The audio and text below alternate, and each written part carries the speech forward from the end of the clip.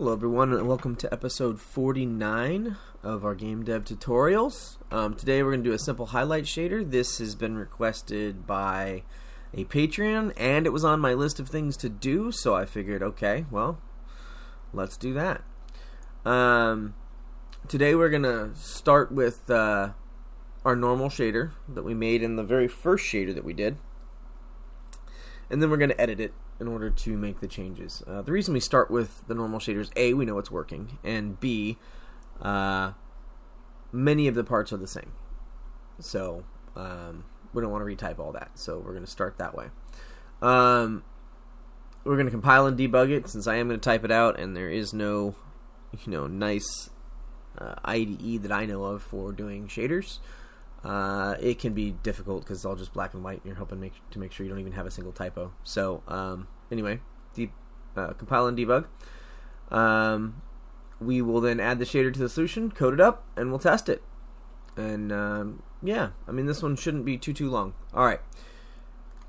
Uh, but before we get started, let's uh, mention to like, subscribe, comment, do all those things. It really does help out. Um, keep the traffic up for the channel and keep things moving forward. Um, you know, if uh, if this is helping you in any professional manner, make sure that you uh, consider Patreon. You don't have to do it, but consider it. Um, and uh, Discord, I'm there. Uh, many of you guys come and talk to me. That's wonderful. I'm ha- I'm happy to help. You know, I can't code your projects for you, but I can definitely point you guys in the right direction, um, or at least give you kind of pseudocode on how you can do things. So you know, pop over, say hi and uh, happy to help you out. All right, this is our normal shader here, and um,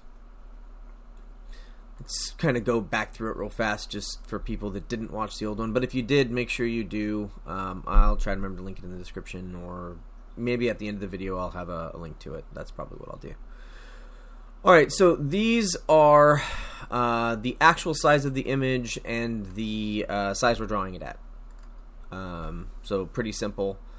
Uh, the reason we need to know those is because from those we can get what one actual pixel pixel is on this scale, uh, as opposed to uh, a pixel that's being drawn. If that makes sense. Um, and the reason we need to do that is because, well, for the normal shader, we were using that to move pixels sideways, up, down, left, right in order to uh, test what their color was in order to interpolate between them so that it uh, so that it anti-aliased better. Okay? Uh, in this one we are going to do the same thing except for we're not anti-aliasing we're setting a solid color. So um, we need that functionality. That's why we started here um, this just pulls in our texture uh, which is the image that we're passing through our sprite batch um, this is pretty standard vertex shader output. Uh, we you don't do much much with the vertexes in um, 2D, so this is just getting the position color and uh, texture coordinate that we're currently uh, using. You have to have these. Um, really, this is a copy paster uh, at this point. This gets edited later, but it's not important for these shaders. I said they can get. I should say they can get edited. They don't have to be. Um, you don't have to use shaders, though they do really help.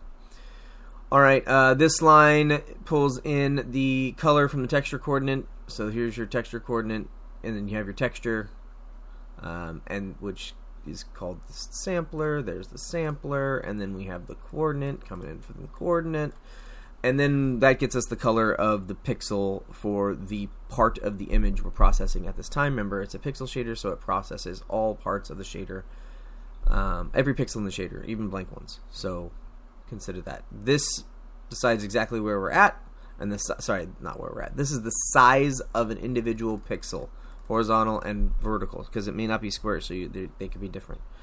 Um, most of what I do, they're all squares, so it's not an issue, but it could be different. Um, in fact, I, I, recommend you use squares, but the code will allow for other things. Uh, and then this is all the stuff that deals with uh, interpolating between those pixels. We don't need this. So peace out for that for now. Um, and then what we're adding to this uh, here is two ints. So we need to know how far we want to make our first. We're going to make two test passes. So how far we want our first test pass to be and how far we want our second test pass to be. So int len 1, int len 2. Very simple stuff, okay? Uh, and we'll use those in a minute. All right, the next thing we want to do is we want to get color set to 0 to start with. So let's um, equals float 4, OAT 4, 0, 0, 0, 0. Sorry, I'm getting a little ahead of myself. What is a highlight shader? Let's go over that real fast. Um, or what is this one? I'm sure you could come up with 500 ways to do this. Uh, but what we're going to do is we're going to say, okay, we got our guy, right? Let's let's just draw him. It's our wonderful, wonderful stick figure because this is the kind of art that I can do on the fly. Uh, and that's on the background, so that's that's a mistake. Let's copy that real fast. Duplicate layer and delete our background. And no, because well, we can magic erase out the, the white. There we go. All right, so we got our guy. Woot woot. Um, how are we gonna highlight this guy? Well, that didn't work out so good, did it? Um, actually, let's do that because this is actually going to solve something to show you the downfalls of this method. Um, and that's okay. Showing you guys what's not right with this method is a good thing in general. Alright so a highlight shader this is our guy. If we wanted to highlight around our guy there's a few methods we can uh, employ. Um, we can literally detect the outside using uh, trigonometry to do so um, and you can find the um, the lines that are perpendicular to this the camera angle, and that's the outside of your character, and then find. Uh, I said lines. I actually mean you find the vertices. This is in 3D. It, it really won't work in 2D very well. Um, and then you color those vertices the color, and then all of a sudden you have a, a single uh, pixel highlight. You could then expand that based on other things, but that's one way to do it in 3D. In 2D, uh, you could, uh, while you're drawing this, if you pass in a hover bool into your normal shader, you could uh, detect the outside while doing all the rest of the things that we're already doing in the normal shader. Not so bad. Could work. Um, but now every single um, pixel of every single thing drawing on your screen is now doing a bool test for the highlight. And that's not super heavy, but it's like one of those things where uh, you know you're you're starting to have useless things, and there can be a lot of pixels drawing on your screen uh, and a lot of pixels processing. Because remember, if something's smaller, you're still processing the. If you're drawing something like a, a 512 by 512, but you're only drawing it like 50 by 50, you're still processing the entire 512 by 512 when you're doing your shaders. So keep that in mind. Um, anyway, so that is one method you could do, and it would work. And what would happen is you would color a little bit on the inside here, which would not may probably be what you wanted and you'd color on the outside out here, which is probably what you do want it, and this would be completely colored in your highlight. Okay? Um, what I'm going to do is I'm going to draw everything just like it was. So let's copy this again. Duplicate layer. Um, and this one, instead of being black, let's see. I'm not the greatest at this kind of stuff.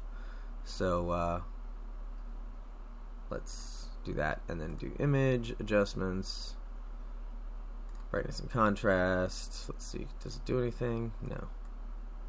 Oh yeah. Okay cool. We'll just take that color. Everybody can see that hopefully?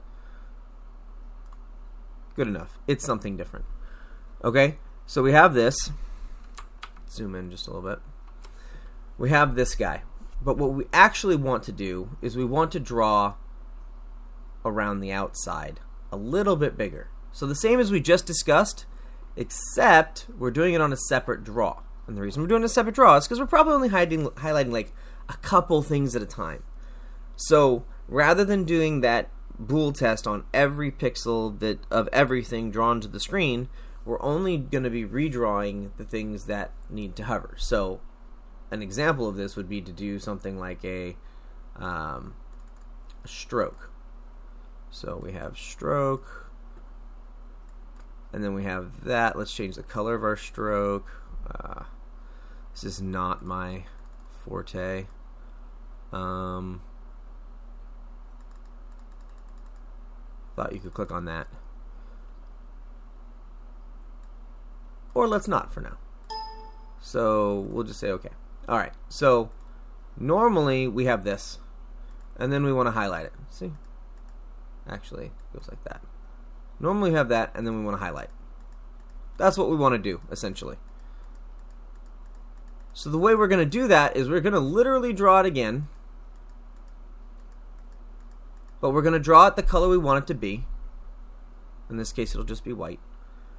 And we're going to draw it with a couple pixels drawn on the outside of it. Um, I've seen people try to scale it up and then just do the same. And the problem with that is you have to recenter it, and that can get tricky with some odd things, um, especially in 3D. In 2D, it can get slightly tricky, not so bad, but this is the best best method that I've found, um, and it doesn't cost a ton. So this is essentially what we're trying to do to do our highlight shader. Uh, why do I discuss this? Well, because um, the ideas behind the shaders can be the hardest part um, understanding what you're trying to do can be harder than actually writing the shader, and you'll see that in a minute. This is simple once I describe it, but ask yourself honestly, is this how you would have thought of doing a highlight shader? If the answer is no, well then that illustrates my point. If the answer is yes, that's how you're going to do it. Congratulations, you understand shaders. You're you're awesome. Um, but I have to assume that we all don't. All right, so you know we just we deleted this. Let's um, I needed a line out of here. I need this line. So, and then we're gonna redo. All right. So we have above color, and um, what we want to do is find out if the color above is anything other than clear. Um, and so that's happening here. But instead of this, we're going to multiply it times len1 because you may want a, a bigger or thinner, uh, bigger, thicker or thinner uh, highlight. Now, this first one, you probably want it to be 1. Every blue moon, I'll, I'll make it 2. But if it's not 1, it can be odd.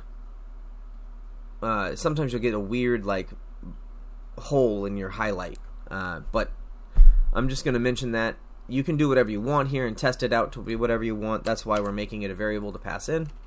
So we have the above color. We have the below color. That's this one here. And then we have to type that out. Um, and then we're going to have the color to the left. So left color. And this is, you just copy this right here paste it here. Zero. Um, and then this one is negative on this. This is also supposed to be horizontal. So horizontal and negative. Okay. And then we have the right color.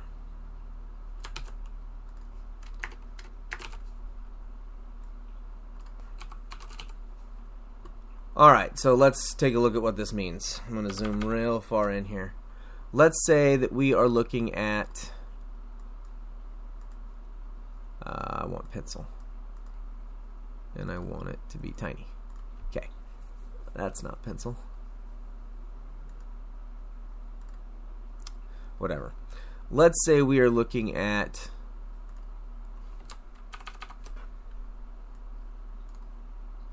pretend these uh, grayed out pieces aren't there. But let's say we were looking at uh, sorry this pixel right here. Right now what we're doing is we're grabbing this pixel, this pixel, this pixel, and this pixel. And what we're going to ask it is, if any of those are colored, be colored. So if I'm grabbing this pixel and I grab here, here, here, and here, obviously that one's colored, so we want to color this one. And that's how we get extra data into the file. Okay? And then let's say that I have uh, my Lin2 is 3. Well, out here, it's going to check here, here, here, here. I think that was all correct. But anyway, um, and obviously, sorry, it was right here. When we check here, we got a color, so we're going to color this. This one, we would get this pixel here, again, colored. So around the outside, we end up with a um, a some extra pixels worth of drawing.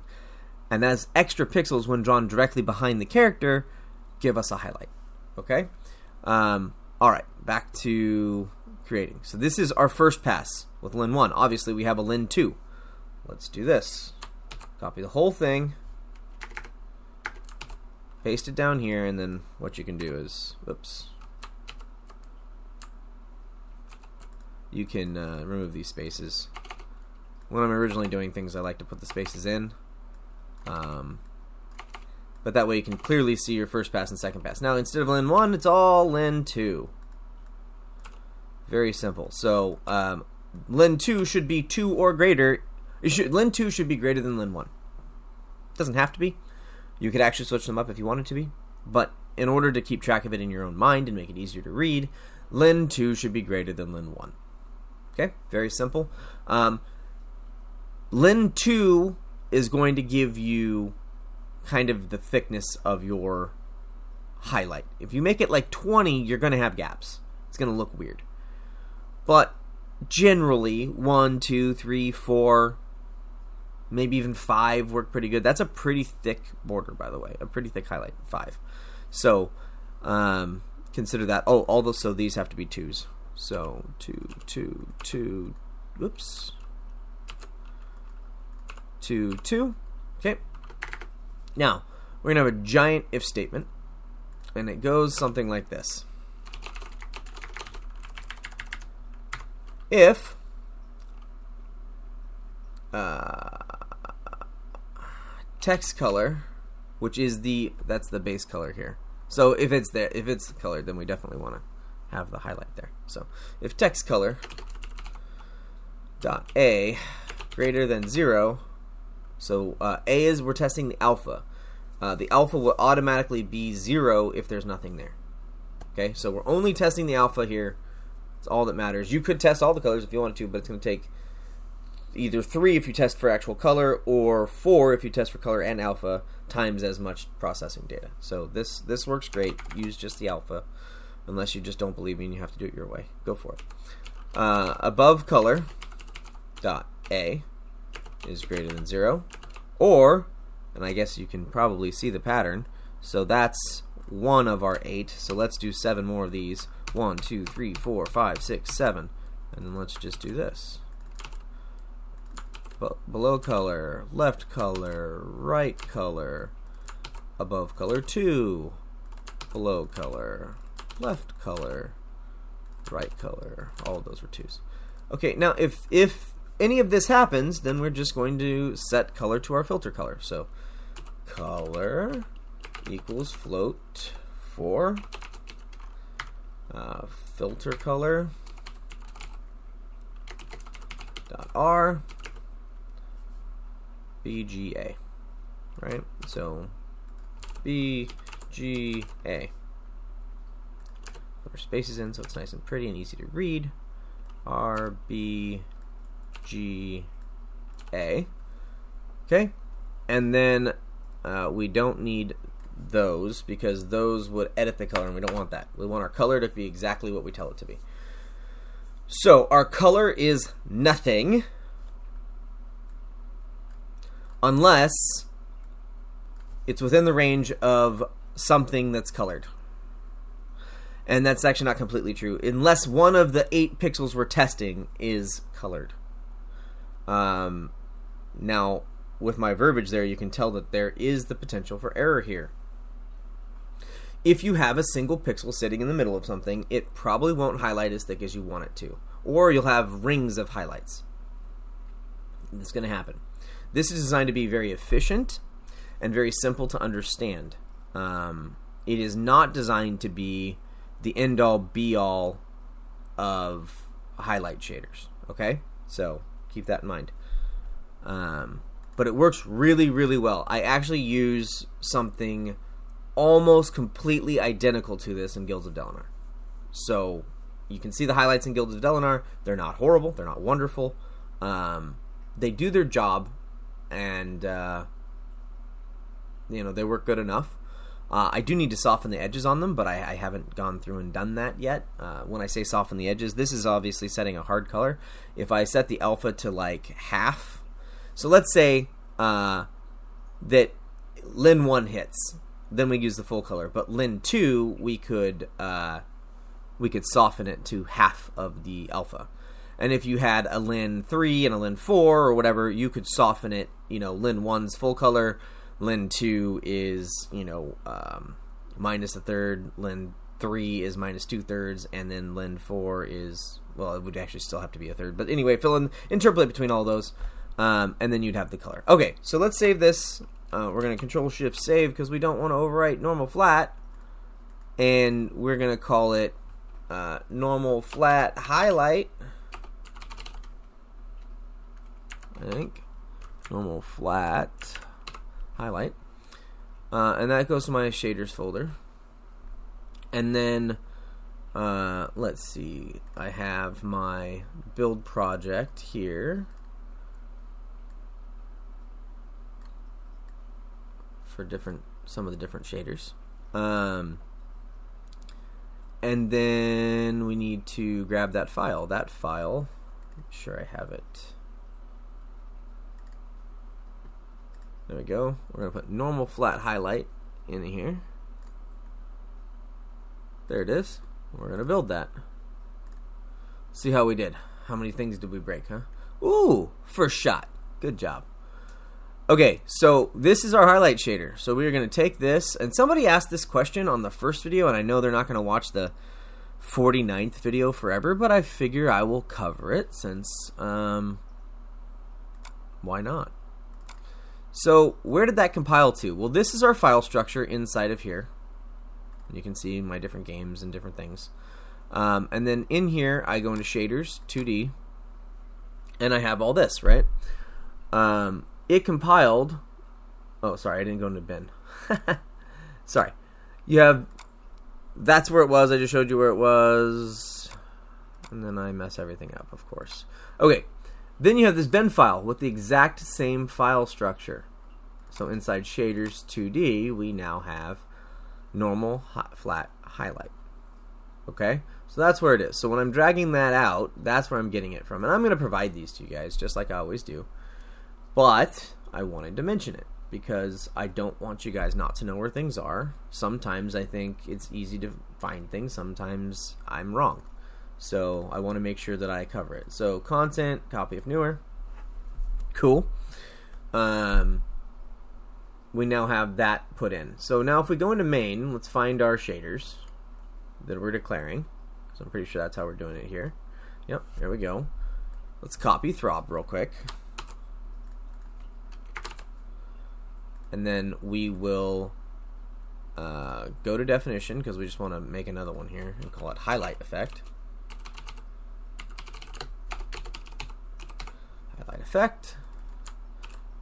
Now we'll go back, paste over that, and then we'll go here. We'll remove hat, uh, flat. I, I called them flat to keep them separate from my files. Um, but paste that in. Okay, so now we've set it up. It's ready to be used. Where do we use this? How do we use this? Uh, it's actually pretty simple. So um, we want to use it in mobs but for the purpose of this uh, tutorial, we're going to do anything attackable. Um, the reason for that is that it's simpler, but also because I, I don't care if we if we hover over our own character that it highlights everything else that's attackable. Uh, essentially, is something we actually might want to highlight. Okay, so First things first, we want a bool, because we have a bool to tell us if the thing's supposed to be throbbing. We need a bool to tell if it's supposed to be hovering. So hover. hover equals false. Then we come here and we say hover equals false. So every time this updates, hover resets to false. And then checks if it's hovering. Uh, offset. And then hover equals true. Very simple, right? Like we've written basically five lines of code to do all of the hover checking. That was simple. Why? Because we already have hover written. Um, this is why you need to have wonderful functions like this and not try to type it out each time on your own. So we've done this five lines of code. That was that was super fast. Now we just have to do the actual um, highlighting of this uh, of this bit here. So this is separate of the other two things because we can highlight and throb at the same time, so we don't want it in the same if-else uh, chain. So this is own chain. So if hover, and then this is super close to what we're doing. Remember, we edited the normal shader, so let's just do that. And then let's copy one of these things here. And we're going to need two of them. We're going to have len1 and len2. And then here, I'm going to feed it in 1 and 3. Okay, just static. You can make these variables if you want them to be in this case right now for our testing purposes, this is all we need. And then there's one other thing we have to do. We have to draw this. Draw what, you say? This. We have to draw it after we do this this shader because we want to draw the highlight directly behind the actual uh, image. Okay? In doing so you will get that outer layer. You won't see what's directly behind it. You'll only see the outer layer. Unless of course your image is um, clear see-through in some way. Um, this highlight is not good for see-through things. Um, if you wanted the the see the non see-through what you would do let me let me just mention that real fast if you wanted it to work with see-through objects you would not include this right here. And not only would you not include this, you would say if this color is colored, don't draw it. So basically exclude it. Leave it this way. So basically your first if statement would be if this, then do nothing, basically. And then then this would be an else, and all the rest of this would work. Make sense? Okay. So that's what you can do. Um, we've set that up. No, it still says normal. We don't want that. We want highlight effect. So let's jump in. Let's redo that. And so now when we hover over a mob or anything attackable, including the portals or whatever, it should highlight. Let's give it a shot.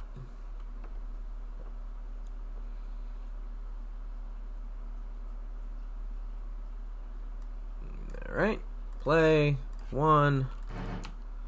So that highlighted. Uh, that's a little slightly not so great. That's a pretty good highlight. Highlights, highlights, and remember you can change the highlight color. Let's uh, let's get something I can have throb and the highlight stays good. See? All right, so that is highlight. Now these should not highlight because they're not attackable. And we're good. So that is how to do a highlight shader, guys. Um, if you like this video, please hit the like button. Um, viewership's been down quite a bit, and I think that's partly because I haven't been getting videos out regularly, but, uh, you know, I'm trying to do so, as I mentioned before. So please uh, hit that like button, subscribe if you haven't, comment below. It helps drive the videos. Please do. Um, and it, I'm happy to answer any questions you have. So if you've watched this and you're like, I don't get it, well, ask, and I will do what I can to uh, to uh, to do that, to answer it. Sorry, I got distracted playing the game. um. Anyway, uh, that's it for this one, guys. Um, I'll see you guys next week. Peace.